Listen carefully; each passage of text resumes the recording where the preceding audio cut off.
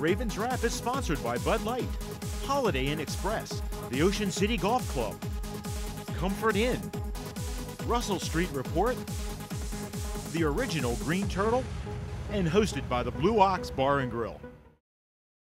In April 1959, Art Wall won the Masters, edging out Cary Middlecoff and Arnold Palmer by finishing birdie, birdie, birdie, par birdie. One month later, Ocean City Golf Club celebrated the opening of their first 18 holes. That course has been transformed now into one of the most scenic golf layouts on the East Coast. Come experience 36 of the most beautiful and challenging holes you'll find anywhere. Ocean City Golf Club in Ocean City, Maryland.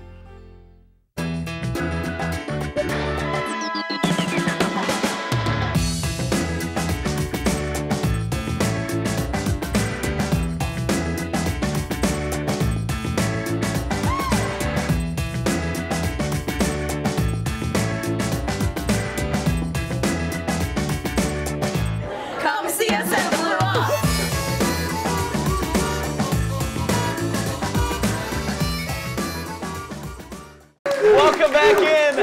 A special playoff AFC Championship edition of the Ravens Rap Show right here on Comcast Beach TV and the strongest signaled Ravens affiliate on Del Delmarva 93.5 The Beach. Don't forget kickoff at 6:30. Pregame show at 6 o'clock. You can catch all the action there. Guys, you know, we, we've uh, we've done plenty of these shows over the years with Ravens Steelers, and, and we've talked about how close those games have been. You know, you go back to, uh, to 2001 between the Ravens and the Patriots. Okay, now this season, the Ravens at home uh, on a 27-yard uh, Justin Tucker field goal, just uh, just inside the uh, uprights, uh, 31 to 30 over the Patriots. We go back to last year AFC Championship game, we lose 23-20. Earlier, a couple of years before that, we lose 23-20. Uh, we won, you know, in 2010 on the road, that big win, uh, 33-14. But in 09, 27-21 New England. Uh, two years before that at home, that Monday night game in which we almost spoiled their undefeated record regular season, 27-24. So we have had a lot of close field goal battles with this team, and it could come down to a field goal again. And the weather, which is supposed to be pretty nice all in all in terms of you know, partly cloudy to clear or clear to partly cloudy skies. Uh, 32 degrees right now is what they're saying for kickoff, but the wind could be about 19 to 20 miles per hour. That could play a factor in the uh, in the kicking game. And uh, again, a lot of these games have come down to three points, so we'll see if that happens again, Bruce. You know, the amazing thing is, i i let's say it stays in the mid 30s. That is the best football weather that you can have as a player. As you get up towards the end of the year, you like it kind of cold. The running backs, the offensive linemen love that. Defensive linemen love it as well. You can run. You seem to like you can run all day because you got the adrenaline going. You're sitting around, so you, it's good weather to keep your motor working. But at the end of the day, what I'm getting at, if it gets that windy, it's going to be the battle of the quarterbacks because both of these men, Tommy Terrific over there in New England and Joe Flacco, got guns, and they got big guns. And that wind's not going to bother them as much as it will bother some other quarterbacks. So it's going to be those guys making big plays. The turnover battle will always be part of it, but it's going to be the wits of uh, Joe Flacco and Jimmy Caldwell versus uh, Tom Brady. Yeah, I tell you, it's almost getting to be like a division, divisional type Right, game. Here. I mean, I think this is the sixth time in four years they've played each other. So, you know, there's not a lot of surprises going on. Now, the New England secondary is completely different uh, than it was week three. So, and a, a new Aqib Talib is, is playing pretty well. So it's going to be somewhat different, but there's, I think both sides have confidence against the other, I, and so I don't think the Ravens are, are obviously going in scared. I, you know, nine and a half points or whatever it is isn't certainly bothering this veteran team, and I think the Ravens know they can go up there and win, and. Uh, I think that that big victory, and you're talking about points here. There's not a single. This is number one offense in the in the league, Yep. and there's not been a single one of these points, and they've been number one in the in the league for a long time. Not a single one of those games that, where the uh, Patriots got 30 points. I think. So, Uh, no. So no. I mean, this is not a situation where the Patriots are guaranteed to, to put up 40 on the Ravens here, and and the Ra- Ravens' red zone defense, Steve, has been stout. So not just enough to move the ball, you got to score points. There's an old saying: you're, every time you kick a field goal, you're three points closer to losing the game. That's right. I think uh, they're a lot like us, where they're they're improving defensively over the year. They're improving running the game, and uh, you know this may come down to you know Hartz may have to hit his brother up for the uh, game plan that San Francisco used against them, and you know that kind of stuff does happen, Bruce. You Oh know, yeah, like- They've been on the phone for a long time, all the last two weeks, believe me. Uh, you know, and, and, you guys brought it up. You know, going back to what week three in the season compared to now, uh, completely different. You talked about Steve the running game. Uh, the New England Patriots have really found a running game, which is scary that that complements Tom Brady, who in the past, whether it be because they just haven't run the ball a lot or because they haven't been able to run the ball a lot because they haven't had that good of a running back. Um, although they've had a few guys over the years they brought in, like a Corey Dillon. Uh, you know, this time around they're a little bit, a little bit more balanced offense, uh, averaging about 39 passes to 30 rushes a game, which means they're getting off about 70 plays, which is scary in and of itself. But you know, you talked about Aqib Talib, the corner that they traded for from Tampa Bay. He's bolstering that corner, that uh, secondary. They're moving some guys around that are maybe better fits uh, than where they were before playing out of position. They're more aggressive now. They're blitzing uh, about a third of the time. So, uh, and it's a team too that has more experience, and they changed from a 3-4 to a 4-3 this year. So, uh, it's a vastly different team. We talked off air about Vince Wilfork, which is a, he's an absolute beast that is going to need to be double teamed. We talked about wham blocking and let him get upfield a little bit and bring H back around and you know making him pay for that. So uh, you know we'll, we'll see, but uh, it's definitely a different team. You know, Bruce, you played years where you played a team early in the year and then in the postseason. It's it's just different. And, and let, us look at how New England wins football games. New England gets up on you. They put the accelerator down usually very early. They're up 10, 14, and defensively they can start playing a little bit different. And New England's New England's being a lot more aggressive than I've seen in the last two or three years out of Bill Belichick's defense. Bill Belichick's not a big blitzer. He doesn't like to send six. He likes to send five and mix it up so you can still play coverage. But the added rusher, the added rushman will give the, uh, quarterback some problems, and then he can still play coverages on the backside. So uh, Bill will, will, will, take will take Torrey away. I'll be surprised if Torrey does go deep for a big play. Belichick will have an aneurysm. He is talking to these guys right now. If Torrey Smith beats any of you deep, I will cut your throat. Then they should be wide open for first downs, moving the chains. I'm because just telling you. Because you're not going to be able to cover both. You're going to bring five. You know, you're not going to be able to cover them deep and cover them short. So it's just a situation where, you know, the, the, the, the guys, the, the option reads need, everybody needs to be on the same page and people need to understand their assignments. And this is the deal. When you're playing teams like the Patriots, you need to execute plays. The Houston Texans came out. They got a big kickoff return to come out, and they wind up kicking a field goal. Uh, you know, uh, and then uh, what's her face? Uh, Brady comes out with a three and out. So these guys are not just automatic on offense. No. You know, you just have to come out and execute against great teams. You need to execute. No, that's a key point because I said as soon as they didn't score a touchdown there, I said this game's over. You know, obviously you can't set it, but three points know, closer to exactly. Losing. You are. You know, you, you have a 90-yard kickoff return, you get a field goal. I mean, come on. You know, you've got to score a touchdown in the playoffs to win the game.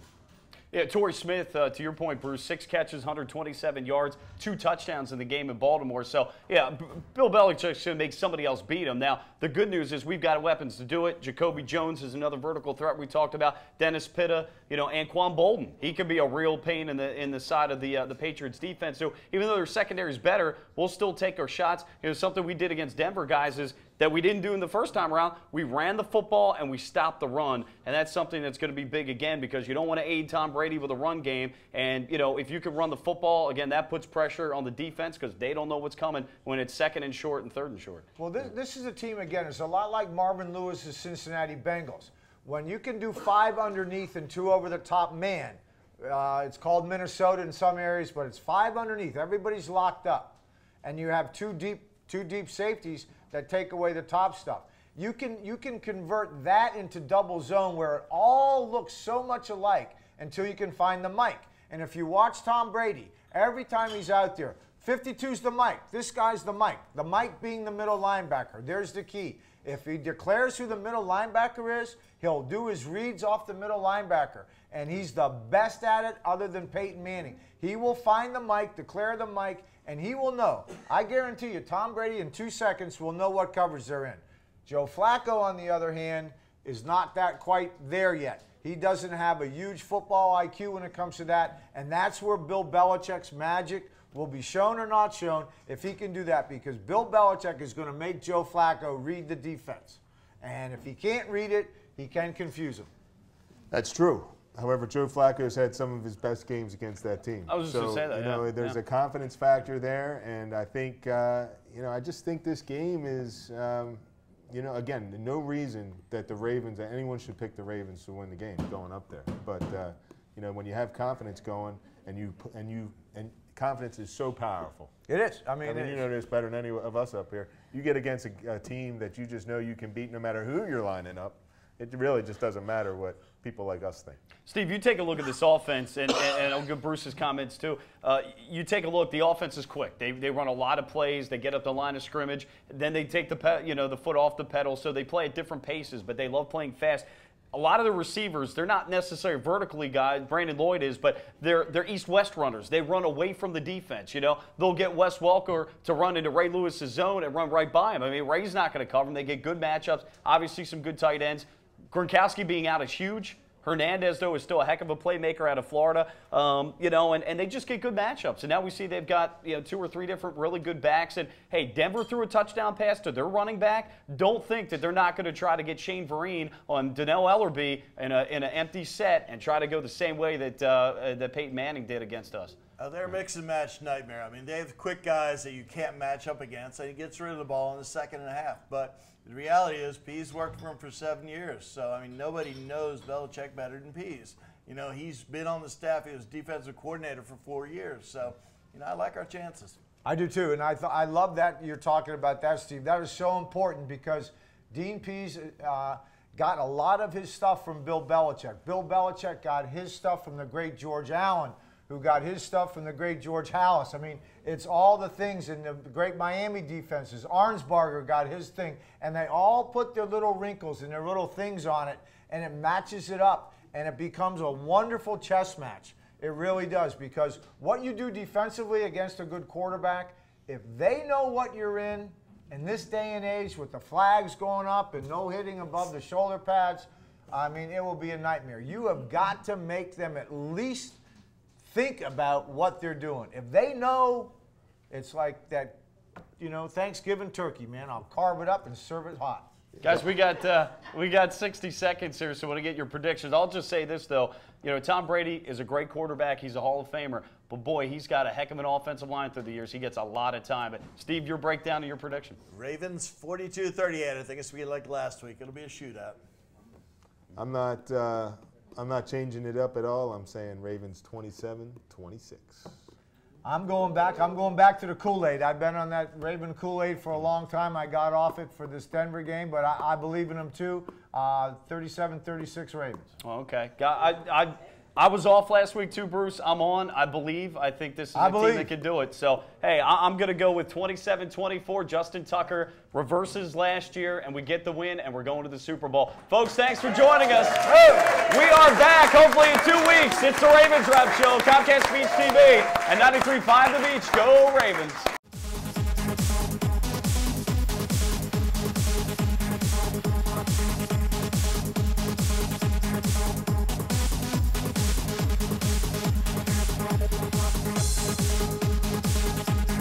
Ravens Rap is sponsored by Bud Light, Holiday Inn Express, the Ocean City Golf Club, Comfort Inn, Russell Street Report, the original Green Turtle, and hosted by the Blue Ox Bar and Grill. Welcome to the Comfort Inn Gold Coast. Conveniently located just one block from the beach and adjacent to shopping at the Gold Coast Mall and the movie theater. Newly renovated and open year round with a marvelous bayfront view. Visit us on the web at comfortgoldcoast.com and see our hot deals and great golf packages, or simply call our direct reservation line to plan your stay.